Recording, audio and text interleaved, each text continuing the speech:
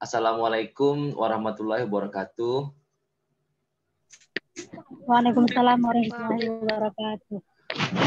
Hari ini kita kembali lagi di MK Biologi Laut uh, pertemuan ke-11. Kali ini masih membahas topik metazoa laut dari kelompok ikan. Kalau kemarin kan metazoa laut beberapa jenis ya, ada yang sponge, ada yang crustacea ataupun ada yang jadi jenis yang lainnya ada ada empat jenis kita bahas. Sekarang membahas yang dari jenis ikan yaitu ikan yang bertulang rawan dan bertulang sejati. Nah, contoh gambar ini kan ikan bertulang rawan itu ikan hiu sama pari. Cuman kalau kita lihatnya kan ikan hiu ini keras sampahnya, padahal dia nggak keras, dia bertulang rawan. Cuma kita jarang bisa membuktikan karena kita kan agak susah kalau melihat hiu langsung. Kalau yang lain itu ikan ber, tulang sejati ini tulangnya rangkanya rangka keras kayak ikan kakap atau ikan apa yang rangkanya kuat lah. Kalau yang pari ini jelas jadi bisa lembek. Tapi hiu ini mungkin orang ragu. Tapi kalau sebagian yang pernah lihat mungkin tahu ini dia bukan tulang kuat atau tulang rawan lah saya bilang. Kita lanjut, kita lanjut ya. Nah, sekarang oke slide-nya jalan. Oke ya. Ini ikan bertulang rawan. Ciri-ciri umumnya adalah kulit diliputi oleh sisik plakoid dengan banyak kelenjar mukosa. Nah, ini kan jenis-jenis sisik itu seperti ini. Ada stenoid, ini untuk ikan yang gambarnya ini ikan kakap ya, atau ikan kerapu. Kemudian ini sikloid. Nah, ini sikloid ikan yang nanti ikan tulang sejati. Ini yang gan ganoid nih saya ada yang tahu nih ikan apa ya? Seperti ikan langka atau apa ikan langka ini. Kemudian yang plakoid ini yang ini ikan yang bertulang rawan. Jenis sisiknya tipe plakoid. Nah, contohnya ikan hiu. Cuman ikan hiu kan Oh, kalian udah pernah belajar belum yang iktiologi tentang sisik? Pengenalan sisik, jenis-jenis sisik. Udah, Pak. Udah kan? Sekilas. Ya, jadi kan di sini bilang plakoid. Plakoid itu kan bentuknya kayak gini. Cuman kita agak susah membuktikan langsung karena ikan hiunya kan jarang uh, kita ambil. Misalkan praktek iktiologi, uh, tolong bawa ikan anak ikan hiu atau ikan hiu besar kan agak jarang. Makanya kita agak susah lihat yang plakoid itu. Sementara kalau yang cycloid ini kayak ikan biasa lah, sering lah kita lihatnya. Nah, jadi kan dibilang sini uh, kulit diliputi oleh sisik plakoid dengan banyak kelenjar mukosa. Dari literatur yang saya ambil ini, mukosa ini artinya kelenjar ludah. Nah, kelenjar ludah, nah, atau lagi kalau yang saya pelajari itu mukus ya, mucus, mucus itu semacam lendirikan. Kalau lendirikan kita tahu, tapi kalau mukosa ini kelenjar ludah kan agak lain dan mungkin ini maksudnya mucus karena kan kita nggak bisa koreksi langsung apakah ikan hiu ini ada lendirnya kayak ikan biasa. Kalau ikan biasa kan kalau udah lama nggak kena air dia berlendir atau apa. Misalnya ikan berlendir itu kalau terancam ya atau pada saat dia ber, ada yang ganggu dia atau dalam keadaan berbahaya dia keluarin lendirnya gitu. Juga kayak ikan yang udah ditangkap sama manusia atau apa dia kan panik keluarin lendirnya. Cuman ikan hiu ini ada yang pernah lihat nggak? Apakah dia berlendir atau enggak jadi kan saya saya belum pernah lihat sih makanya kurang tahu. Tapi yang saya duganya kayak gitu. Ini maksudnya kelenjar kelenjar lendir ikan hiu berarti dibilang sisiknya plakoid dan dia ada lendirnya juga. Kemudian yang kedua ciri-cirinya mulut terletak sebelah ventral ventral dari kepala. Maksudnya itu kan mulutnya itu berada tepat di bawah kepalanya. Lihat gambarnya ya. Balik nah ini dia. Nah ini kan mulutnya di bawah kepala kan. Nah itu maksudnya mulutnya ventral. Tapi kalau yang yang ini yang yang bertulang sejati mulutnya itu nggak sejajar sama kepalanya, agak jauh sedikit. Dia agak lebih moncong. Tapi kalau yang yang hiu ini di bawah kepala dia. Nah, kalau lihat sejajar. Nah, itu tadi yang dimaksud dengan uh, mulutnya berada di sekitaran ventral. Skeleton itu tulang ya. Uh, tengkorak lah, tengkorak berupa tulang rawan tanpa tulang keras. Nah, Sementara uh, kalau kalian udah pernah praktek belum, kayak mana jenis tulang rawan sama tulang keras? Udah pernah bedain belum? Udah pernah prakteknya atau belum nih? Mungkin kan kalau saya uh, cerita-cerita terus nanti kayak banyak ini ya mengada-ngada ya. Maksudnya kalian pernah pernah bandingin nggak kayak mana tulang keras sama tulang yang rawan yang nggak keras. Hmm, ada yang ada yang pernah pernah lihat nggak contohnya? yang tulang keras yang jelas yang itulah yang apa namanya? Kayak kakap kerapu ikan karang tuh tulangnya keras. Kalau tulang rawan pernah lihat nggak contohnya? Ikan hiu pak atau ikan pari? Ya kalau ikan hiu lihatnya di mana kalian?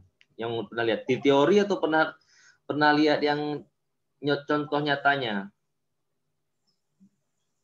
Kalau yang teori teori teori, teori tadi kan ikan uh, hiu hiu sama pari kan. Cuma kita kan membuktikan teori itu kan kayak mana ya? Maksudnya pernah nggak gitu? Kalau ikan keras saya pernah lihat itu ikan ikan kerapu ikan karang dia keras dia uh, tulangnya. Nah kalau yang tulang rawan ini pernah lihat nggak contohnya kalian? Seumur hidup kalian ikan lah. pari pak. Ah, pas dimasak pun dagingnya itu bisa digigit pak lembek. Dagingnya? Tulangnya ya, pak ah tulangnya. ya tuh nah jadi kan kayak yang ada rumah makan dekat kampus itu tuh kan. Dia kalau kita pesan ikan karang dia keras. Tapi kalau ikan pari pas makan dagingnya ada makan tulangnya. Nah itu dia mungkin yang dibilang tulang rawan. Berarti berarti kalian bak, yang udah tahu mungkin uh, udah oh, oh betul teori ini. Yang belum tahu juga nanti bisa dipraktekkan coba nanti sekali beli nasi yang beli yang ikan ikan karang itu yang tulang keras, atau lagi ikan pari. Jadi tahulah bedanya. Oh ini tuh tulang rawan. Oh ini tulang keras. Nah, kemudian yang keempat suhu tubuh tergantung pada lingkungannya. Ya ini ya suhu tubuh kita akan nggak ngecek, tapi teorinya gini. Kemudian reproduksi terpisah, fertilisasi pembuahan terjadi dalam tubuh ovipar dan ovovivipar. Maksudnya ini kan dia bertelur sama memijahnya itu dalam dalam apa ya? dalam dalam badan. Kalau yang ikan lain kan keluarin telurnya dulu baru dibuahi oleh sperma kan. Tapi kalau yang contoh kayak pari ataupun ikan hiu dia telurnya ada juga telur di dalam tapi dibuahi di luar. Kalau yang saya yang di darat agak lupa apa ya contohnya. Tahu nggak kalian contoh yang ovovivipar kalau yang di darat? Saya udah udah pelajari yang ikan ini udah lupa pula yang di darat. Waktu SMA tuh kan, masih ingat nggak contohnya? Contoh yang ovovivipar. Kalian kan baru dari SMA harusnya kan mungkin ada yang ingat atau apa kan? Ada yang ingat nggak? Contoh ovovivipar. Waktu itu saya waktu waktu SD ya, eh, dibilang nggak salah pak ular ya, ular tapi dia ada telurnya. Ini yang dia bertelur tapi pas uh, memijahnya nanti dalam dalam bentuk anakan ya. Ada telur tapi langsung keluarnya anakannya. Ingat nggak apa sih itu?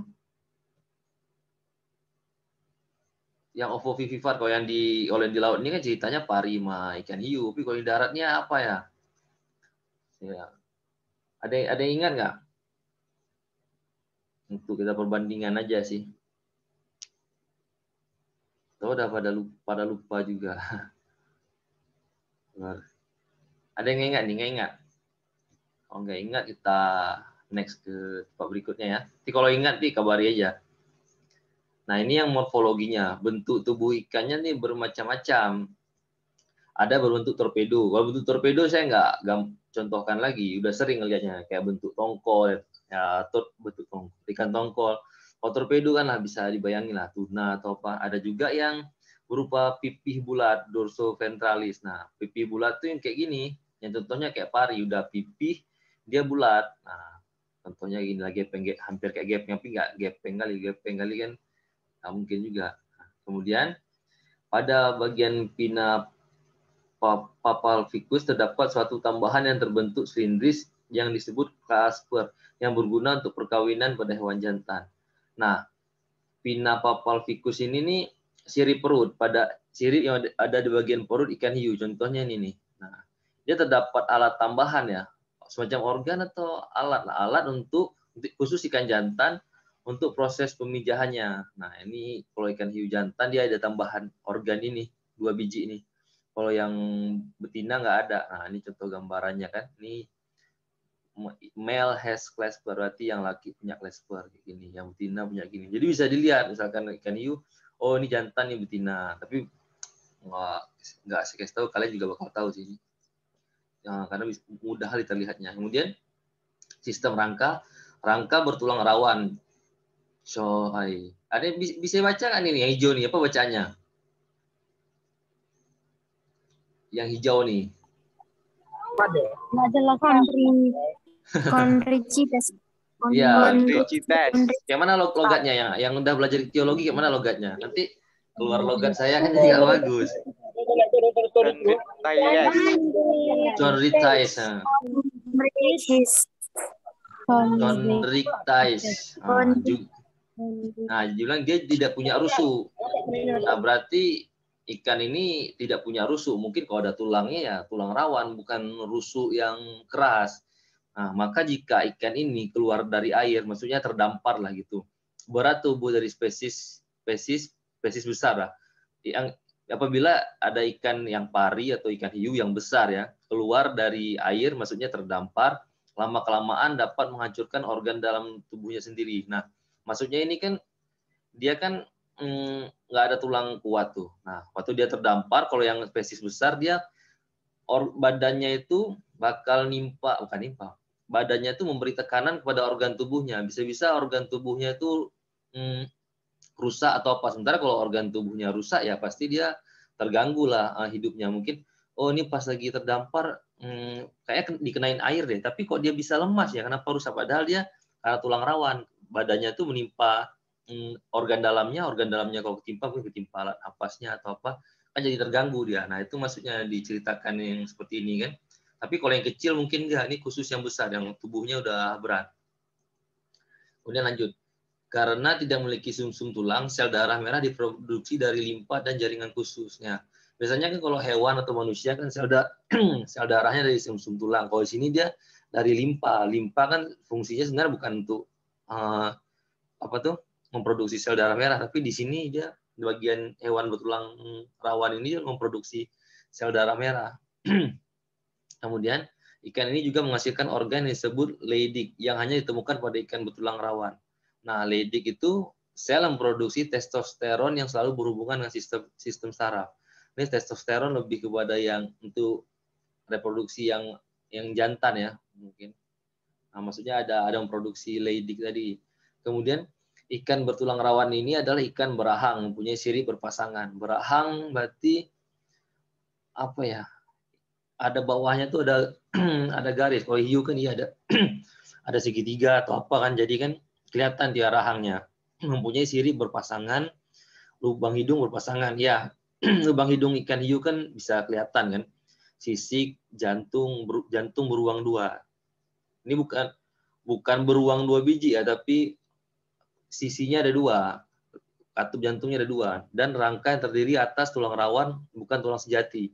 Mereka itu maksudnya ikan. Ikan dibagi menjadi dua subkelas, yaitu Elasmorbranch, yaitu ikan hiu, pari, dan sket, dan halocepali chimera. Nah, ini kan yang elasmor, misalnya kalian pernah dengar nggak kalau elasmor brand kalau di mata kuliah geologi? Nah, saya sering waktu saya satu dulu sering bahas-bahas elas elasmor brand. Saya cuma tahunya elasmor brand itu hiu, sementara elasmor brand itu dia ada sebuah istilah untuk menceritakan sesuatu lah. Jadi kalian tahu nggak elasmor brand itu apa?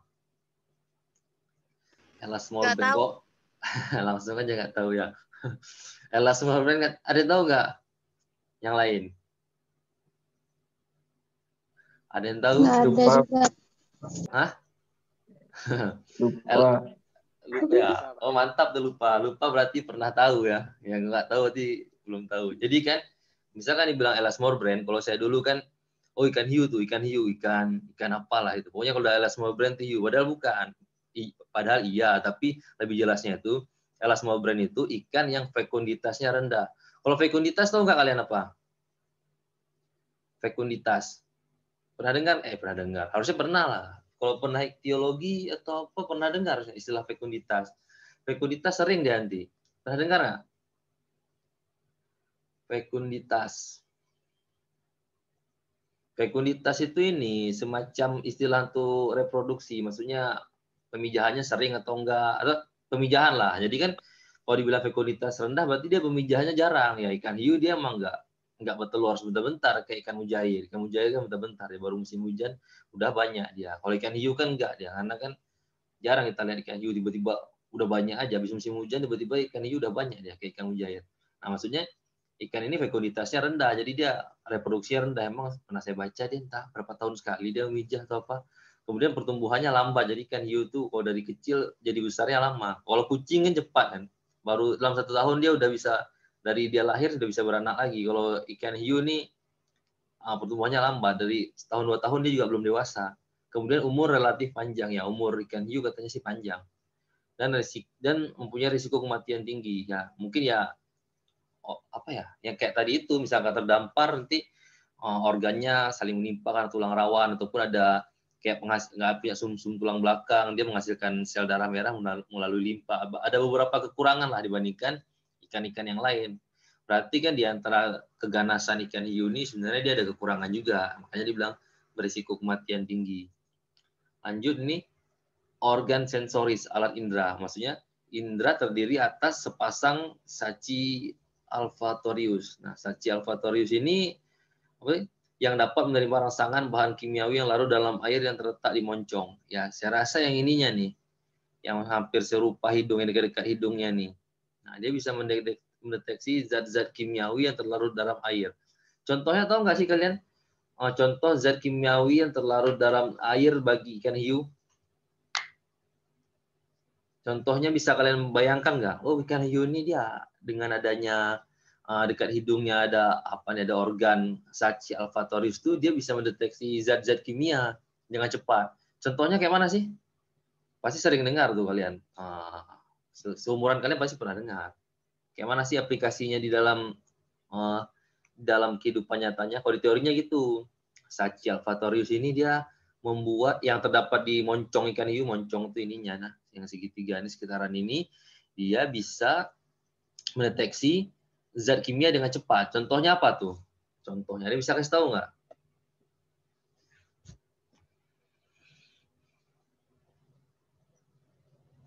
Hmm, ini mudah nih. Di film-film ada biasanya nih. Yang tahu nggak? Kalau film-film ikan hiu tuh uh, film apa pak? Hiu. Nah di situ dia kalau salah membuktikan teori ini ikan hiu punya saci alfatorius yang ada di moncongnya tuh dapat mendeteksi zat kimia dengan cepat. Di film-film ada tuh. Kalau film-film ikan hiu tuh ada tuh kejadiannya. Oh itu kejadiannya. Oh kita jangan kayak gini. Nah teorinya tuh kayak yang saya jelasin baru yang jelas saya jelasin barusan. Tapi kenyataan yang di filmnya tuh pernah pernah tahu nggak kayak apa kejadiannya? Kayak pertumpahan minyak kapal tuh, Pak. Pertumbuhan minyak kapal bisa juga. Itu kan zat kimia, jadi kan ikan hiu bisa tahu kan. Ya itu saya terima juga. Tapi jawabannya lebih tepatnya itu ini, zat kimia darah. Misalkan kalau kalian nonton film ikan hiu kan, kalau ada orang yang berdarah, dia cepat datang kan. Ataupun nanti ada yang luka, ikan hiu udah datang. Nah maksudnya itu, darah kan ada, darahnya itu kan ada zat kimia.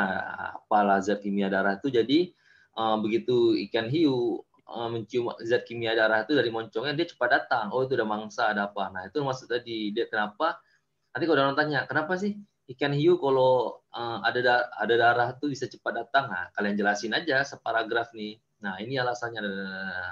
Barulah nanti. Oh itu toh uh, alasannya. Maksudnya saya tak lanjut ya. Sepasang mata sebagai indera pelihat. Sepasang mata ya hampir semua punya matanya dua sih. Nah, sepasang matanya umum lah. Kemudian indera pendengar berfungsi sebagai alat penerima rangsangan gelombang suara sebagai alat untuk orientasi.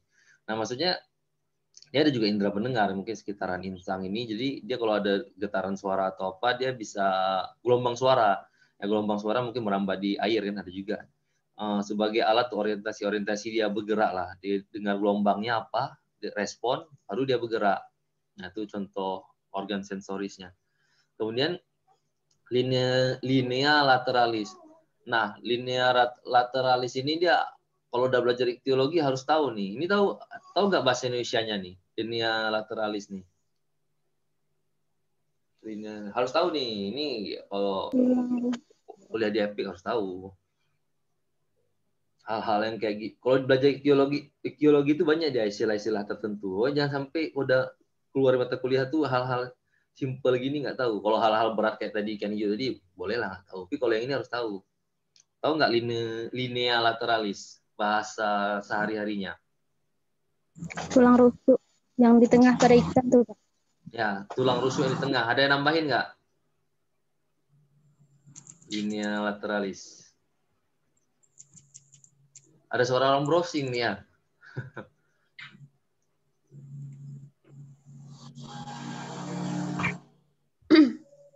Getar-getar layarnya. Buka, ada, ada orang bunyi tekan keyboard. Wah, kalau yang di ruang tetap muka kelihatan nih, oh, dia buka HP dia. Tapi kalau di sini ya bebas buka HP langsung tahu jawabannya.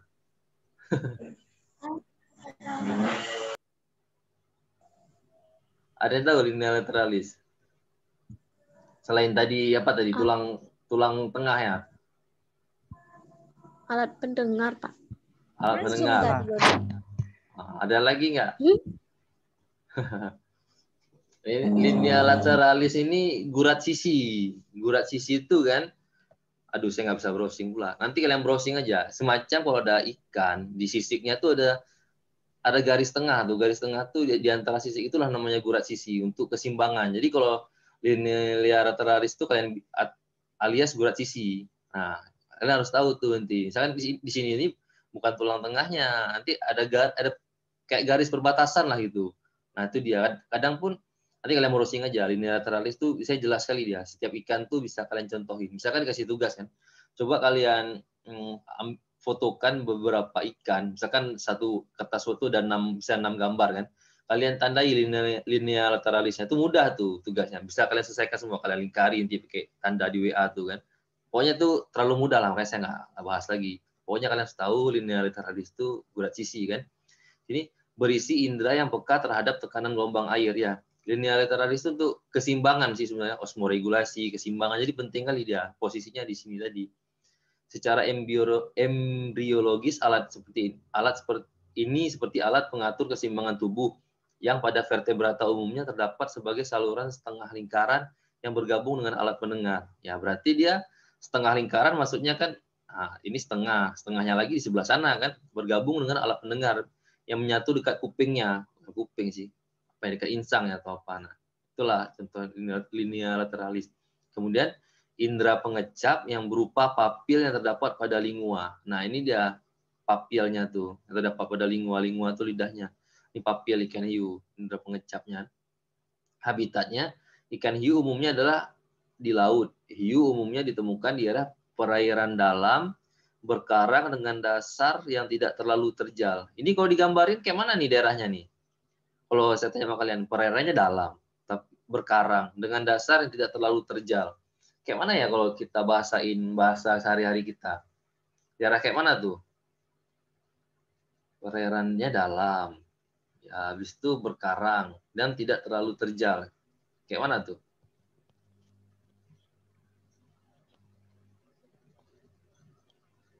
daerah-daerah kayak mana tuh? Kalau bisa di, dibahasakan, bahasa kitanya kan. Bahasa teorinya gitu, perairan dalam berkarang ya, dengan dasar yang tidak terlalu terjal. Nih kalau kalian ceritain, oh maksudnya nih Pak, dia paling enggak ya uh, dilewat 5 meter ke bawah lah atau 2 meter ke bawah. Habis itu yang dia ada terumbu karang. Tidak terlalu terjal maksudnya kayak mana? Saya ceritain yang awalnya, perairan dalam nih maksudnya tuh umumnya dia lewat 10 meter ke bawah, cuman kadang-kadang dia ke atas juga. Kemudian yang yang ada karangnya, rumbu karang. Kalau dasar yang tidak terlalu terjal maksudnya apa? Tidak terlalu dasar miring, Pak. Terlalu curam, Pak. Ya, tidak, tidak terlalu miring, curam Pak. atau tidak terlalu miring sama. Jadi dia tuh apa ya, nggak terlalu miring kayak gini, agak agak datar sedikit lah. Nah, di situ dia ya, sering umumnya sering berada. Kalau berada di tempat lain berarti dia emang lagi ke situ kan. Nah, jadi kalau daerah yang kalian kalian misalkan kira-kira akan pergi kan? Oh saya mau mau pergi ke daerah pulau apa lah gitu. So kalian baca di situ. Di situ perairannya dalam berkarang atau ada daerah tidak terlalu terjal. Nah kemungkinan kalian bakal ketemu yang beginian. Nah, jadi kan kurang lebih bakal bakal tahuan. Tapi juga mungkin jam-jam munculnya atau umumnya muncul cuacanya sih tidak pelajari mungkin dia atau pada musim hujan atau dia malam ataupun siang. Ini tidak dipelajari. Itu ada teknik-tekniknya lagi kalau kalian menyelam atau apa kan Kemudian kita masuk materi kedua yaitu ikan bertulang sejati, yaitu kulitnya ditutupi sisik yang memiliki kelenjar yang kelenjar apa nih? tutupan sama video kalian. Ya. Kelenjar yang mengek, mengekskresikan mukus lendir sehingga kulitnya menjadi licin. Ya, ini kan dia mengeluarkan zat ekskresi berupa mukus. Nah, atau lagi kalian kalau dibilang mukus itu langsung cepat cepat tanggap mukus itu lendir. Nah, jadi kalian langsung oh mukus itu lendir, ini lateralis berat sisi. Jadi kalau ada istilah-istilah itu penting catat aja. Paling enggak bahasa perikanannya tahu. Nanti pas orang bilang mukus kalian tanya pula tuh mukus itu apa. jadi kan uh, harus yang dasar-dasar ini harus tahu. Kemudian lendir tersebut berfungsi untuk mengurangi gesekan selama berenang. Ya mungkin kita nggak tahu kalau kita berenang ya gesekan itu biasa tapi kalau bagi ikan mungkin gesekannya tuh berat mungkin kalau nggak pakai ini apa namanya nggak ada mukusnya kemudian ikan ini juga memiliki tulang kranium kepala yang rangka maksudnya sini yang berfungsi sebagai pelindung otaknya. Yang yang ikan bertulang sejati itu ada pelindung kepalanya biasanya. Contohnya lele atau ikan-ikan yang lain kan ada pelindungnya tongkol biasanya emang ada. Mungkin ikan hiu itu pari tadi nggak ada ya. Bisa nggak ada nggak nggak ambil gambarnya pula. Kemudian perbedaan Corindictes dan Osteichthyes itu maksudnya perbedaan antara ikan tulang rawan dan ikan bertulang sejati yaitu kalau yang Chondrichthyes ini memiliki kerangka dari tulang rawan sedangkan Osteichthyes memiliki kerangka dengan tulang keras. Oh, itu jelas itu yang dasar kali ya. Nah, ini dibilang kalau yang ini ini bahasa latinnya tulang rawan mempunyai kerangka tulang rawan, kalau tulang keras mempunyai kerangka tulang keras itu ya umum lah. Yang kedua, Chondrichthyes memiliki tutup insang operculum, sedangkan pada Osteichthyes sudah memiliki tutup insang. Eh, apa nih? Yang ini tidak memiliki yang tulang rawan. Yang tulang rawan tadi kan ya ikan hiu, pari dia nggak punya tutup insang. Kalau yang yang bertulang sejati ini ada, ini contoh tutup, tutup insangnya nih, oper, operculum namanya. Cuman operculum agak jarang sih dibilang. Nah, jadi kalau bilang operculum ini dia tutup insang. Nah, lineateralis itu yang ini tadi. Nah, ini dia garisnya nih. Nah, pasti ikan ada garis-garis nih. Ini lineateralis. Kemudian di sini Chondrichthyes memiliki sisik dengan tipe plakoid, sedangkan pada Osteichthyes memiliki sistem sikloid. Nah, jadi kembali lagi kalau yang ikan bertulang rawan dia plakoid, tapi kalau yang apa tuh? Yang ikan bertulang sejati sikloid. Ini jelas kan? Sikloid ini gambarnya kayak gini nih.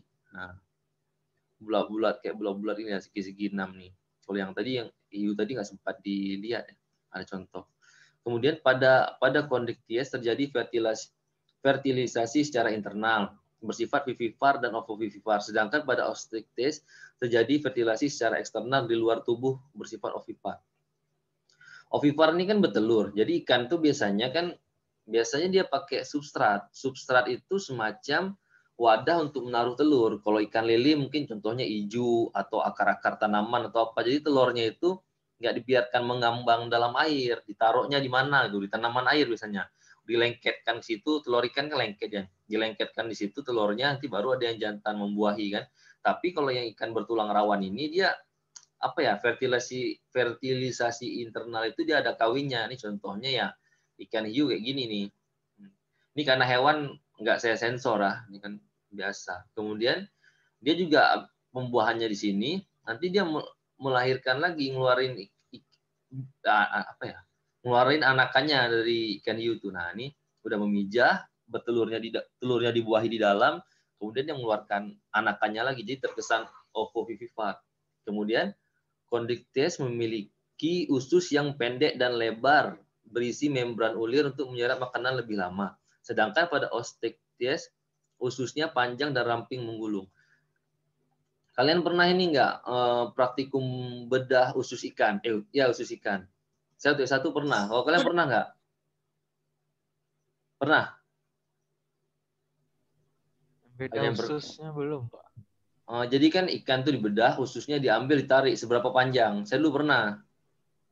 Jadi dia ikan mujair itu ikan apa? Saya bedah, membuktikan, oh ususnya panjang loh sebenarnya. Ikannya kan kecil, tapi ususnya panjang. Pernah nggak kalian ini hal yang kayak gitu? Pernah nggak? Kalau pernah kan jadi kan saya pas jelasinnya agak mudah. Oh pas saya bilang kayak gini, oh kalian paham terus. Tapi kalau belum pernah, saya harus lebih jauh lagi jelasinnya kan biar kalian paham. Pernah belum? Belum Pak. Oh belum ya. Jadi gini, misalkan kalian kalau ikan-ikan biasa, ikan yang bertulang sejati itu kayak ikan mujair, ikan emas, ikan apa, kalau kalian bedah tuh ususnya panjang dia kalau diluruskan. Sementara kalau cerita di sini, kalau ikan hiu ususnya itu pendek, nggak nggak panjang lah. Mungkin ya kalau di, kalah panjangnya lah dibandingkan ikan-ikan lain. Mungkin kalau ikan yang bertulang sejati itu ususnya itu nggak salah saya bisa dua atau tiga kali badannya. Tapi kalau yang tulang rawan ini mungkin ususnya itu nggak sampai satu kali lipat badannya, pendek dan lebar. Cuma masalahnya jarang tuh kalau pak saya apalagi di Sumawe sana nggak ada dia jarang ikan hiu tuh. Jadi kalau pembedah bedah ikan hiu ambil ambil ususnya nggak ada. Tapi kalau di, di Melabuh ini ada. Mungkin kalau sekelas kalian bisa lah mungkin patungan beli anakan ikan hiu kan lihat itu ususnya itu dia maksudnya diceritain kalau ikan yang tulang rawan ususnya pendek tebal tapi kalau ikan yang tulang sejati panjang tapi tipis kemudian poin yang keenam kondriktias cenderung hidup di air laut sedangkan Ostrictias hidupnya di air tawar ya kalau ikan pari sama hiu kan di air laut kalau yang ini kan di air tawar jelas ya kalau ini kemudian sistem pernapasan salah satu contoh ikan betulang sejati yaitu ikan mas. Ini contohnya ya, contohnya ikan mas. Ikan mas tersimpan dalam rongga insang yang terlindung oleh tutup insang operculum. Nah, sistem pernapasannya di dalam insang dan tertutup oleh operculum. Nah, jadi kan mungkin bernapas juga melalui insang tadi, tapi ada penutup insangnya. Nah, di tempat inilah pertukaran gas CO2 dengan O2 berlangsung. Gas CO2 diambil dari gas O2 yang terlarut dalam air melalui insang secara difusi. Nah, difusi itu nggak kalian difusi? Oh, dibilang difusi. Jadi gas O2 ini di gas O2 diambil dari apa ya? Dari oksigen terlarut melalui insang secara difusi. Difusi. Jadi kan dia ngambil oksigennya dari oksigen dari yang... tempat hmm? Iya. Dari tinggi ke Terus itu hmm. perpindahan. Iya, di sama-sama betul sih. Yang si Dewi bilang juga bisa, yang Lucy bilang juga bisa. Jadi maksudnya tuh difusi itu ya kayak air yang kena angin lah, ataupun perpindahan air lah. Air kena angin kan berpindah, ataupun air kena gelombang berpindah. Jadi oksigen itu kan memang udah ada dalam air laut. Jadi diambil melalui insangnya tuh dari mungkin pergesekan dengan insangnya atau apa, itulah cara ambil oksigennya. Jadi waktu tergesek dengan, emang dia selalu selalu terkurung dengan air kan, airnya ada oksigennya, secara difusi tergesek atau apa, di situlah cara mengambil oksigennya. Dari insang O2 diangkut ke darah melalui pembuluh darah ke seluruh jaringan tubuh. Ya ini umum ya. Kemudian dari jaringan tubuh gas CO2 diangkut darah menuju jantung, dari jantung menuju insang untuk melakukan pertukaran gas. Ini kok CO2 ya, harusnya O2 tadi alat ini alat reproduksinya organ genitalis alat-alat reproduksi berupa gonad gonad itu kan kelamin ikan ya kalau kalian ditanya gonad tuh kalian jawabnya apa? Sangat eh apa tuh gonad kalian jawabnya apa? Gonad kalau gonad tuh udah belajar dari waktu semester satu pak sama pak Rudi hah? Kalau semester satu udah belajar dulu pak waktu hmm. sama Pak Rudi beda eh beda ikan yang salah. Bukan, tapi bukan bagian bedahnya ya. Dia alat kelamin ikan, biarpun jantan atau ya. betina itu gonat namanya. Nanti kalau yang gonat. jantan, hmm, jantan lain lagi namanya, betina lain lagi namanya kan. Nah, sepasang terdapat pada abdomen bagian lateral. Abdomen tuh kalian, abdomen. Abdomen. abdomen itu semacam bagian perut lah atau bagian tengah. Kemudian pada ikan umumnya terjadi secara eksternal, terjadi di luar tubuh. Nah, sini kan di sini ada saya dapat gambarnya. Ini kan ikan hiu, ini kan yang apa ya penutup insangnya yang ada sampingnya tuh lah kayak celah-celah tuh. Nah, ini dia bentuk apa tuh uh, testis ikan hiu yang dua biji tuh. Nah, waktu dibedah kayak gini. Ya kalau ikan lele kayak gini. Kalau lele saya pernah pernah bedah. Coba kalian pernah pernah ngambil ini enggak? Gonat ikan lele? Bisa cara ngambilnya nggak? Ada yang pernah ngambil atau praktikum diperlihatkan atau kalian suruh tes satu-satu suruh ambil? Cukup biasanya ikan lele yang kelihatan gonat. Kalau ikan lain agak susah, kadang-kadang yang kalian dapat yang kecil jadi nggak ada gonatnya. Tapi kalau yang lele itu mungkin dapat. Kalau yang jantan ya ya dua kayak gini bentuknya. Kalau yang betina dia ada telurnya. Nah kemudian ini saya contohin tadi ini telur ikan hiu, ada yang bedah berarti. Nah, telur ikan hiu itu kan ini dia, ini telurnya kayak kuning gini, ada bentuk ikan hiunya. Jadi hiunya apa ya? Masih belum dibuahi lah ataupun baru baru dibuahi. Nanti kalau dia menetas, dia menetasnya melalui induknya. Jadi dia keluar bukan dalam bentuk telur, keluar dalam bentuk anakannya. Sementara dia proses awalnya dalam telur. Cuman kalau kita lihat tangannya orang ambil nih keriput, berarti dia udah lama kali dalam air. Berarti dia nunggu kali itu ambil ikan hiu tadi. Mungkin prosesnya lama kan. Nggak bisa didapatkan dengan sebentar lah. Lanjut ya habitat. Habitat di antara semua kelas tadi itu vertebrata, vertebrata ikan tulang keras adalah ikan yang paling banyak jumlahnya. Ya, ikan yang memang rata-rata ikan yang tulang keras, makanya banyak dibilang. Baik jumlah individu maupun jumlah spesies sekitar 30 ribuan. Berukuran antara 1 cm sampai lebih 6 meter.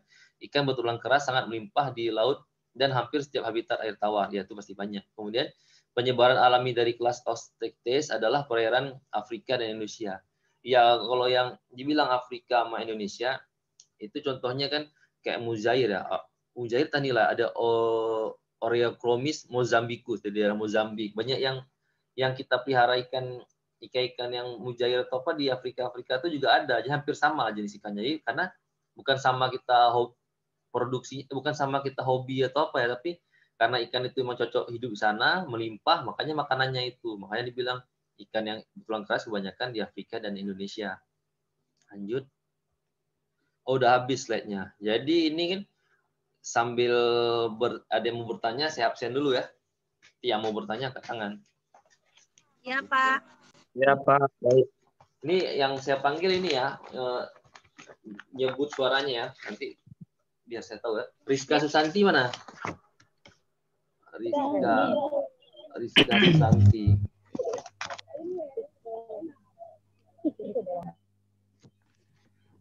Rizka Santi. Sambil nunggu Rina tadi ada. Rina sempat lihat videonya. Rina ada Rina ada sempat lihat. Si Dewi Sartika sempat lihat. Lucy sempat. Sumi, oh Sumi sempat lihat. Ricky sempat. Agnita sempat. Ya, Nurul tadi ada dan jawab. Dia, dia, Pak. Oh, si Mila ada. Mila nggak lihat tadi saya. Ada, Pak. Mana? Ada ya? Ada. Sucia ada? Sucia. Sucia ini saya belum lihat. Boleh ada, Pak. Oke, ada berarti. Sucia. Mahmud. Mahmud, mana Mahmud?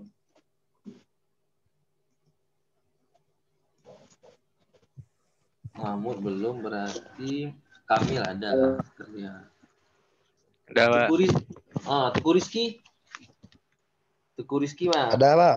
Ada ya. Tuku Rizky, Revani ada, Devia ada. Evi mana? Evi Lisa. Hadir, Pak. Oh, Evi, oke, oke. Kasman ada. Ah, uh, Uh, Rizka udah datang, Pak. Uh, Rizka mana? Mana lu orangnya? Udah datang, udah datang aja ya. Saya juga bisa saya bilang, Rizka udah datang.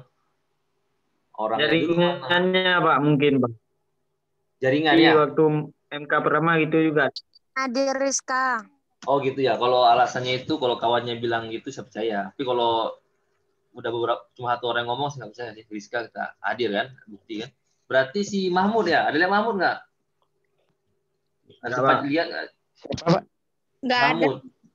Karena saya kan jarang scroll-scroll mahasiswa. Paling kalian mungkin sambil saya ngajar scroll-scroll kan. Ada sempat lihat Mahmud. Mahmud. Mahmud.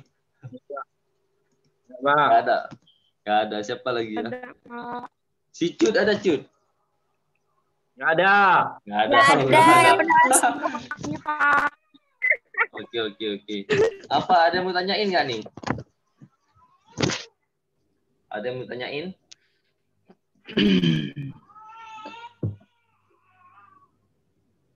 Ricky mau bertanya. Ya, ada yang mau bertanya. Ada yang bertanya yang saya tunggu nih.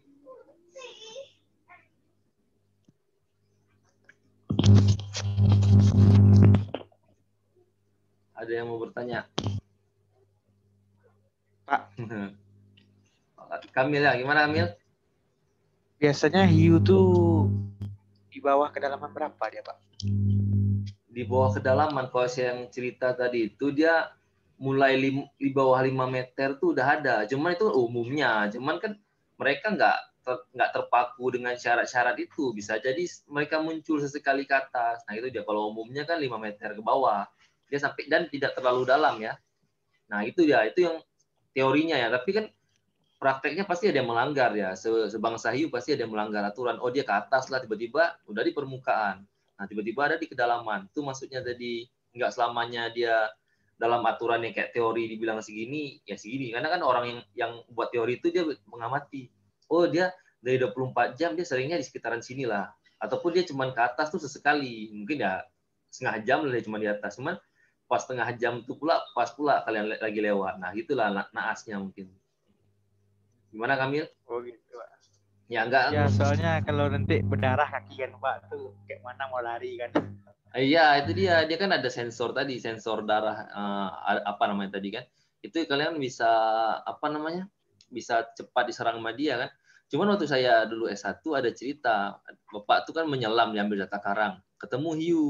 Dia nggak banyak bergerak dan menutup diri di karang. Ya itu kan teorinya gitu sih. Bilang kalian coba menghindar pelan-pelan, jangan banyak gerakan lah. Gerakannya pelan-pelan menghindari karang. Cuman sebagian dari kita kalau nggak biasa pak panik lah pasti lari kan. Cuman ya nanti kalian belajar lagi lah sama apa ya.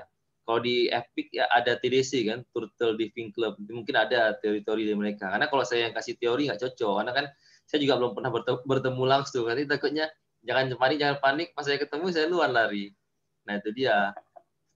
Karena kan kalau saya ini yang pari juga bahaya kan uh, dia ada di ekornya itu kan ada semacam duri entah racun entah tajam gitu jadi kan uh, kalau yang contoh besarnya yang meninggal Steve Steve Irwin itu kan pawang buaya itu dia kena sabut ikan pari ya tapi kalau contoh nyata yeah. saya ya. pernah lihat apa namanya waktu itu sesama kawan praktikum uh, tiba-tiba pas dia ke laut dia lari luar mau cepat-cepat mau apa ya mau mau masuk laut sementara dia bilang kalau lautnya tenang atau belum ada orang mandi jangan kalian lari. Pertama tuh banyak kan ada, ada anak pari. Kena lah dia sengat itu. Kayak bawa rumah sakit pun kasih perawatan. Nah itulah kita harus hati-hati. Jadi kalau kita ke laut mungkin ada kasih gerakan lu pertanda datang datang rame-rame. Pas dia pergi baru kalian masuk. Nah gitulah untuk menghindari pari anak-anak pari sama ikan hiu tadi. Gimana Kamil? Atau ada tambah pertanyaan? Atau apa? Ada lain yang mau bertanya lagi tentang ini yang apa nih tadi ini metazoa jenis ikan.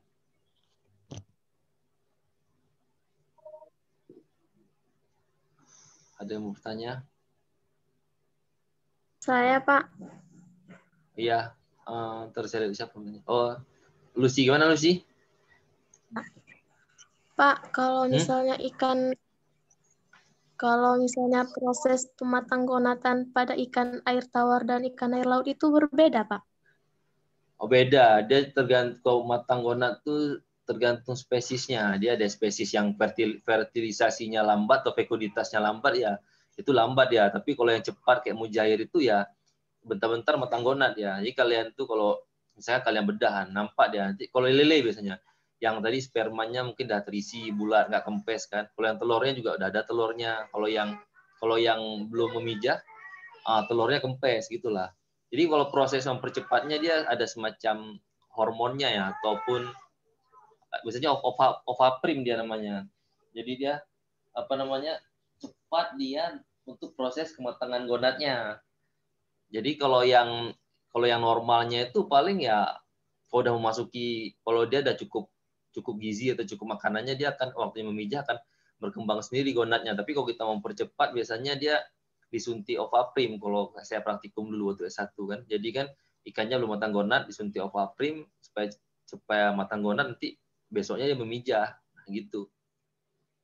Biasanya di biasanya di pembudidaya ada obat ovaprim tuh semacam kecil ya obatnya. Jadi kan biar cepat lah produksinya. Jadi kan waktu saya PKL dulu di tempat pembenihan gurami lah di Medan. Jadi dia memproduksi ikannya itu dia dipercepat pemijahannya. Dikasih obat itu cepat memijah cuman nggak bisa lama nggak bisa digunakan lama-lama induk kayak gitu. Kalau udah terlalu banyak memijah dia udah nggak bagus lagi ya dijual mungkin jadikan konsumsi. Tapi kalau masih bagus disuntik obat itu biar cepat. Nah gitu loh sih uh, udah jelas atau gimana? Jelas pak. Nah, yang lain ada yang mau tanyain juga? Ada pak. Hah? Gimana Ki? Ada. Ada tanya apa? Tanya apa? Apakah benar kalau Apa? paus itu memiliki pita suara yang sangat besar, Pak? Paus memiliki Paus memiliki apa Ki? Besar, pita suara yang besar. Pita suara yang Jaringan. besar, Pak. jaringan Siriki nih kayaknya nih. Iya, Saya cuma saya Ah. cuma dengar dia bilang apa benar paus itu Nah, coba coba Pita uh, suara, Pak.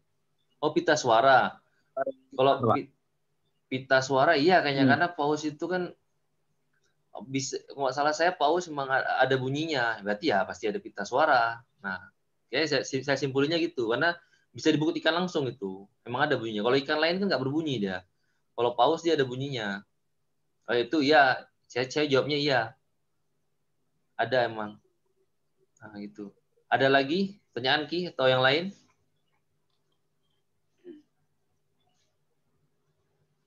Ada lagi mau tanya tentang materi ini? Atau tanya yang di luar materi juga nggak apa-apa, mumpung masih ada waktu ya. Jam berapa nih? Oke, 11 ya. Se- Eh, sampai berapa ya? 13 ya. Ya, masih bisa lah kalau mau ya, tanya-tanya. Protes Gimana? lagi. Gimana Ki? Ya, Kayak Bapak bilang tadi kan, ikan nggak punya suara, Pak. Ah. Ikan nggak punya suara, ah, pita suara terus Bagaimana ikan itu berkomunikasi? berkomunikasi. Bagaimana ikan itu berkomunikasi sesamanya, Pak? mereka mungkin komunikasinya kan kayak ikan yang bergerombol itu mungkin dari apa ya? Dari li- melihat aja mungkin. Melihat dia bergerak atau apa atau membaca situasi lah gitu. Karena kan ada ikan yang bergerombol tuh kan dia harus mereka nggak komunikasi sih. Maksudnya ya ngikutin aja gitu, melihat ikut, nah gitu. Lebih ke lihat tingkah laku dia karena nggak komunikasi. Kalau komunikasi dia bakal susah pemancing ikan. Nanti dibilang di sana ada ada yang pasang jai, ada yang pasang jaring tuh. Hati-hati jangan lewat sana nanti ketangkap. Nah, kayaknya nggak sebatas itu karena biar banyak ketangkap ikannya. Mungkin dia ya ya itulah lihat kawan yang situ dia situ ataupun dia sana dia ke sana lah gitulah. Gimana Ki? Atau ada yang tanya? Ah, ada yang mau tanya lagi? Ayo masih ada waktu nih. semester ini ada PPA nggak Pak? PP beasiswa ya? Iya. Ada, biasanya tiap tahun ada, harusnya ada. PPA, PPA ada. Waktu saya dulu ada ada PPA, ada BBM, mungkin nanti ada BI kan, ada MIFA. Cuman beasiswa ini dia sering dadakan. Kenapa sih dari zaman saya dulu S1 tiba-tiba mau deadline enggak dua hari lagi dah pengumuman. Nggak, nggak sempat pun buka berkas. Nah, jadi kan Sekarang nggak ada pengumumannya Pak?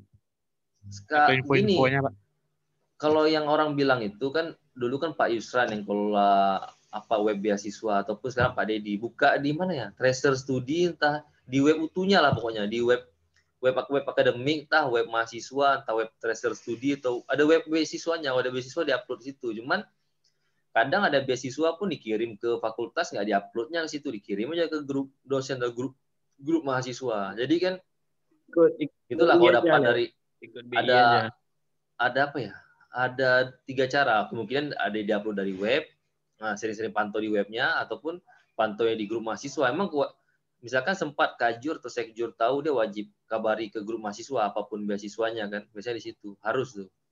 Ataupun sekjur kajur kan dapat infonya juga dari apa? Fakultas. nah gitu Kamil. Kalau Gitu, yang- Pak. Nanti kalau ada ah. infonya kasih tahu ya Pak. Kalau saya pasti telat tahunya karena bukan bukan yang ada jabatannya. Jadi kan kalau jab pimpinan tuh ada grup pimpinan ya. Nah, situ di-share. Jadi kan saya begitu kalian tahu, saya juga tahu. Enggak jarang tahu duluan kecuali ada yang di luar Ya. itu ngasih tahu ke saya kan. Ada beasiswa-beasiswa apa saya Ya. share ke grup. Nah, gitu dia. Itu Pak. Mana tahu Lumayan. PA ini dulu, dulu tahu kan. Ya, P- PPA kan lumayan tuh apa kan. Yang enak tuh B, Gen B, Gen B, BI itu kan. Nah, itu main main juga tuh. Tanya sama senior Ya, aja Genbi tuh. itu enak tuh. Ya, itu ya. apa tuh enggak Mifa Mifa lah gitu. Kak lah. Putri, Kak Putri, Kak Putri Genbi dia. Kak Putri. Ya senior saya ini ada berapa sih siapa ya? Said, Yuni, pakai baju Gembi. Putri saya ya pernah lihat juga sih si Nazli ada STA ada aja masuk Genbi juga. Ya mungkin ti 2018 siapa saya, 2019 siapa? Alumni Genbi ya. alumni eh, tapi kan belum lulus harusnya masih dibiayai kan? Apa ada batasan biayai masa waktunya? Mungkin ya udah semester berapa nggak dapat lagi mungkin atau apa Ada kan? batasan waktunya. Nah itu dia mungkin. Jadi kan kita harus pantau-pantau. Tanya sama- senior atau di grup BEM mungkin tapi nggak jarang ya. Jarang. Dari dosen tuh biasanya tuh Tilah tunggu-tunggu kabar kan? Ada lagi nih tanyain? Nggak ada Pak, ini udah azan nih Pak. oh, udah azan ya. Berarti Kamil Rizky nggak ada lagi Lucy. Yang lainnya masih ada dulu nggak? Oh nggak ada. Saya tutup nih. Kalau ada saya tunggu. Gak ada, Pak. nggak ada. Ada berapa orang bilang nggak ada? Ujiannya kita bulan Desember atau Januari nantinya Pak. Ujian kayaknya sih Januari karena kan ini ini pertemuan 11 kalau saya kan. Ini dari Desember pertama kan. Berarti kan tersisa Ya. empat lagi tuh. 11 tambah 4 berapa? 15 nah masalahnya dia Ya. nanti minggu ketiga atau keempat itu ada cuti bersama nggak salah. Cuman saya oh ya sekarangnya saya tanya ini Kenapa cuti itu? bersama kan waktu waktu waktu corona dulu kan harusnya libur ya. Nggak libur karena nggak Ya. karena pembatasan jarak jauh. Jadi orang di rumah kerja kan. Nah sekarang udah bisa pembatasan jarak jauhnya ya orang balik lagi pulang atau apa. Cuma saya tanya di sini sama kalian, nanti kalau libur kalian mau selesaikan kuliah atau emang libur? Kalau mau selesaikan kuliah saya ya mau nggak Iya, mau nggak mau nggak mau saya masuk kan. Ya kuliah biar nanti tiba-tiba ujian udah beres ya gitu kan. Kuliah dulu Pak, baru libur. Pak. Enggak nanti misalkan libur di Desember, misalkan kena dua minggu nih li- libur sebenarnya. Kalau kalian mau kuliah, saya masuk nanti. Hmm? Gimana? Libur lah. Tapi libur lah. Oh kalau libur ya berarti saya nggak usah Libur. masuk berarti. Nah, jadi kalau emang nanti Libur itulah. Itulah. Jadi kan saya nanya dulu nih jangan-jangan nanti, nanti pas ditanya dosen kenapa mata kuliah ini belum selesai? Oh dosennya udah meliburkan diri itu. Nah, harusnya kan saya tanya dulu sama kalian kalian nih mau masuk atau nggak? Oh, kalian nih nggak mau masuk. Oh berarti ya saya nggak nggak usah paksa masuk. Tapi kalau sempat kalian bilang oh kami nunggu bapak tuh dua minggu. Bapak tuh entah ke mana dia pergi. Nah itu kan saya jadi gak enak juga nanti nanti pas sudah libur tuh saya kabari Ya, ini kayak mana keputusannya? Nanti kalian kasih aja jawaban di grup kan atau apa kan? Oh iya lupa saya. Di ini kan pertemuan berapa ya, Pak? ah di kalau nggak salah Ki, kan minggu ketiga atau keempat tuh udah mau cuti bersama. Oh iya di sini lupa saya bilang di zoom ini ada peraturan. Dia maksimal ngezoom tuh lima kali ya tuh mata kuliah. Kemarin Bu Rika nggak salah tiga kali. Saya ada tiga kali mungkin udah enam mungkin nanti pas libur itu saya ngerekam diri sendiri aja. Nanti kalian bukti hadirnya komen aja di situ. Komen kesimpulan atau apa. Jadi materinya dapat udah terhitung pertemuan. Nggak nanti nggak sanggup juga kita kejar-kejar cari hari tambah. Jadi mas saya kasih materi kalian tonton aja kapan ada waktu kalian komen gitu paling. Itu aja sih. Ini nggak usah nggak usah ada hadir kayak gini. Kalau ini kan kayak gini kan pasti kalian misalkan lagi liburan sama keluarga mau nggak mau harus ngezoom atau apa. Kalau yang yang saya kirim video tuh kapan kalian ke wifi atau kapan kalian lagi santai buka video ketik komentar udah beres itu. Mungkin kayak gitu nanti. Jadi pas Sekali ya. kita kita bisa lebih cepat uas atau apa Maksudnya, biarpun uasnya nanti ada jeda liburnya bisa kita cek cek kehadiran yang belum atau tugas-tugas yang belum bisa bisa dipersiapkan lah nggak serba dadakan. Tiba-tiba nanti udah tugas mau ujian situ tugas semua di situ praktikum semua. Nah maksudnya gitulah biar nggak itu kali nggak mepet kali ada lagi nggak nih tahun depan siapa nih Pak, Eh, Reva ada, gimana Pak. Reva Ya. gimana Reva Pak, tahun depan kita tatap muka, Pak. Iya, katanya Januari 2021 itu udah udah tatap muka. Cuman kan di situ di situ lagi UAS ya. Kan nggak mungkin kalian datang tiba-tiba mau UAS. Pasti datangnya nanti di semester baru, semester genap. Paling datang BRCP datang ya? BRCP pakai ATM ya. Mungkin datang pas isi KRS ya. Nah, gitu mungkin. Ataupun pas mau kuliah. Ada, Pak. Kabarnya gitu. Masuk Jadi. Apa? Pak. Gimana? Udah bosan kami, Pak.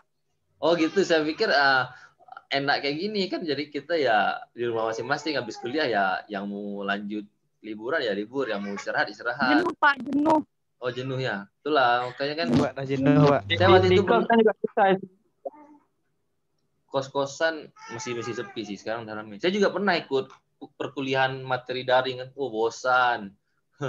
Pasti mahasiswa bosan juga, cuman mahasiswa nggak berani bilang. Saya juga depan materi nggak berani bilang ya sebenarnya itu juga pegal saya udah berapa kali udah pegal nih lutut cuman ya ya gimana ya mana boleh kita bilang gitu ini gimana lagi nih Siapa? Siapa siapa ada bertanya atau atau apa itu kami lah Enggak lagi, Pak. Enggak lagi ya. Siapa? Ah, Kamil, Rizky mungkin udah atau yang lain udah. Ada yang lain nggak nih sebelum saya tutup? Udah, Pak. Udah ya. Oke deh kalau udah saya tutup aja ya. Ah, sekian dulu materi biologi laut hari ini. Semoga ilmu yang kita pelajari bermanfaat. Apabila saya ada kesalahan, saya mohon maaf. Sampai jumpa lagi di pertemuan berikutnya. Assalamualaikum warahmatullahi wabarakatuh. Waalaikumsalam warahmatullahi wabarakatuh.